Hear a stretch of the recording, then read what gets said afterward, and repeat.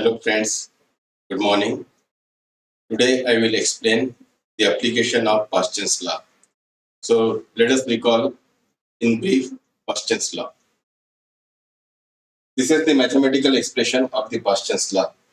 It states that under uniform electric field for a particular gas or a particular electrode material, the breakdown voltage is a unique function of product of pressure and gap spacing. If we plot product of pressure and gap spacing along x-axis and breakdown voltage along y-axis, we get this type of curve that is called as Paschen's curve. Here there are three unique points x, y and z. For a particular value of breakdown voltage, there will be two different values of P into D, one at X, one at Y. At X, this P into D will be higher than P into D minimum, whereas at Y, P into D will be less than P into D minimum. And third point is Z, which shows minimum value of P into D and minimum value of the breakdown voltage. Now for a particular gas, A, B and K are constants. Then VB minimum is obtained by this equation. B upon A, is exponential, multiplied by K. P into D minimum is E into K upon A, and K is ln in bracket 1 plus 1 upon gamma. So A, B, and I'm sorry, it is not K, it will be gamma. So if values of A, B, and gamma are given, then we can compute what will be the value of VB minimum and P into D minimum for a particular gas. So A, B and gamma, they depend on the nature of the gas. For air, it will be different. For hydrogen, it will be different. For carbon dioxide, it will be different. Now let us take numerical. So first numerical is this one. Determine P into D minimum and minimum breakdown voltage for air for Paschen's law if value of A is 12, B is 365 and gamma is 0.02. This is for air. So we have equation, first we use this equation, K is ln in bracket 1 plus 1 by gamma. So gamma is given, it is 0.02.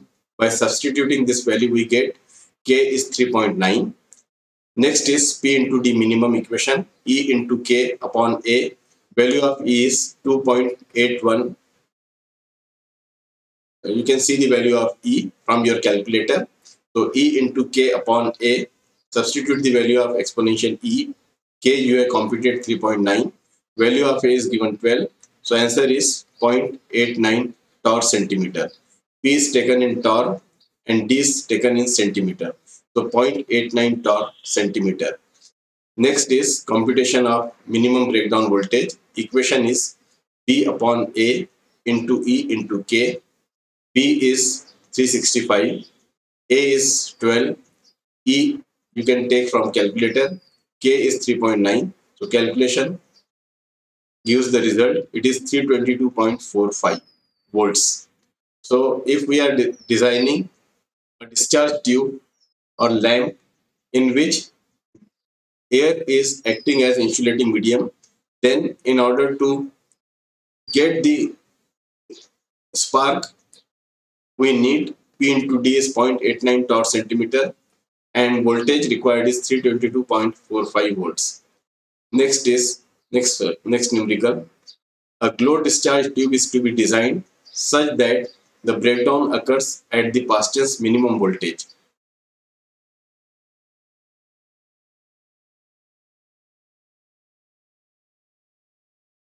Suggest suitable gap distance and pressure in glow discharge tube when the gas is gas in the tube is number one hydrogen number two air. So you must have seen the glow discharge tube. Glow discharge tube is constructed by using different gases. It may be hydrogen carbon dioxide sodium vapor lamp and so on. Here the gap spacing is fixed that is 3 mm means 0.3 centimeter and characteristic for air and hydrogen is given. That is the Paschen curve for air and hydrogen. They are given. Along x-axis it is P into D in torr centimeter. Along y-axis it is breakdown voltage. If you consider air, this is the characteristic. Minimum breakdown voltage is 450 volts and minimum P into D is 4, 4 torr centimeter. So first we compute this for air. From curve P into D minimum is 4 torr centimeter. Distance is fixed that is 3 mm that is 0.03 mm. So we get the pressure of 13.3 torr. Now if you replace air by hydrogen, this is the characteristic. VB minimum is 300 volts and P into D minimum is 7.5. So hydrogen P into D minimum is 7.5 torr centimeter. Substitute value of D that is 0.3. So we get pressure of 25 torr and VB minimum is 300 volts. Now compare the result. If we are filling air into the glow discharge tube, then we require voltage of 450 volt and we require pressure of 13.3 torr. If we replace this air by hydrogen, we require pressure of 25 torr that is relatively higher and breakdown voltage of 300 volts which is relatively lower.